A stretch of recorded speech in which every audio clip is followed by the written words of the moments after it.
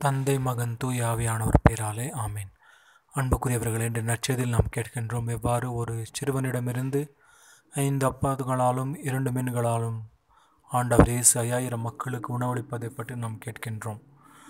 நம்முடைய குறைகளில் இருக்கின்ற அனைத்தையுமே ஆண்டவர் கற்பணித்தால் அது நிறைவாக மிகுதியாக இருக்குமாறு ஆண்டவரது ஆசிர்வதித்து நமக்கு மீண்டும் அளிக்கின்றார். ஆகவே நம்முடைய சமயத்தையும் நம்முடைய நம்முடைய வல்லமையும் ஆண்டவரின் நற்செய்திக்கு அறிவிப்பதற்கு நாம் செலவழித்தோம் என்றால் ஆண்டவர் நமக்கு தேவையான ஆசிரியர்களையும் வல்லமையும் பரிந்துரைகின்றார் ஏனென்றால் அவர் நம் மீது நம்மொழியாக அவர் செயலாற்றி வருகின்றார் இன்றைய முதலாவது வாசகத்திலே கமலில் என்கின்ற பரிசாயன் அந்த சபை கூறுகின்றார் இது ஆண்டவர் செயலாயிருந்தால் நீங்கள் ஆண்டவருக்கு எதிராக நிற்க முடியாது என்று கூறுகின்றார். ஆகவே நாள்தோறும் நம்முடைய சமயத்தும் நம்முடைய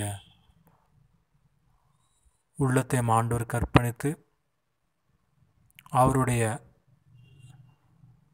நற்செய்தியை பறைசாற்றுவதற்கு நாம் உதவுகின்ற உள்ளத்துக்காக ஆண்டவரிடம் ஜெபிப்போம். தாய் போல தேற்றி தந்தை போல ஆற்றி தோள் மீது சுமந்திடும் என்னேசையா தாய் போல தேற்றி தந்தை போல ஆற்றி தோல் மீது சுமந்திடும் என்னேசையா உம்மை போல புரிந்து கொள்ள யாரும் இல்லையே உம்மை போல அரைவணைக்க யாரும் இல்லையே நீர் போதும் என் வாழ்விலே.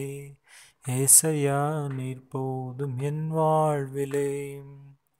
மலை போல துன்பம் என்னை சூழும்போது அதை பனி போல உருகிட செய்பவரே.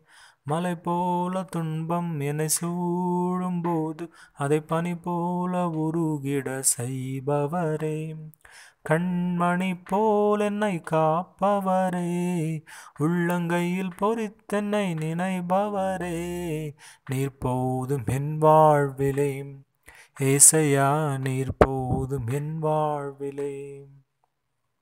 அன்புடைய ஆண்டவர் இயேசுவே நம்முடைய குறைகளை நீக்கி மிகுதியான ஆசிரியர் பொழுதுகின்ற கடவுள் நீங்க இருக்கின்றீர் ஆகவே நம்முடைய அனைத்தையும் உமக்கு அர்ப்பணித்து உம்முடைய மிகுதியான கிருபைகளில் வாழ நம்மை ஆசிர்வதிக்குமாறு உண்மையில் ஜெபிக்கின்றோம்.